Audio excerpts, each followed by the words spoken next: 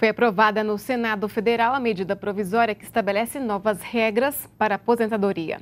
A proposta do Executivo é uma alternativa ao fator previdenciário.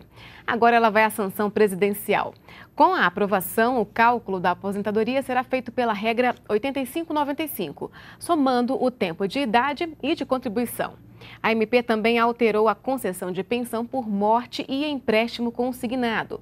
Também a concessão do seguro-desemprego durante o período de defeso, o regime de previdência complementar de servidores públicos federais e o pagamento de empréstimos realizados por entidades de previdência complementar. Também foi aprovada uma emenda que inclui na regra progressiva o dispositivo de desaposentação. A medida permite o recálculo do benefício de aposentados que continuaram a trabalhar e a contribuir para o INSS.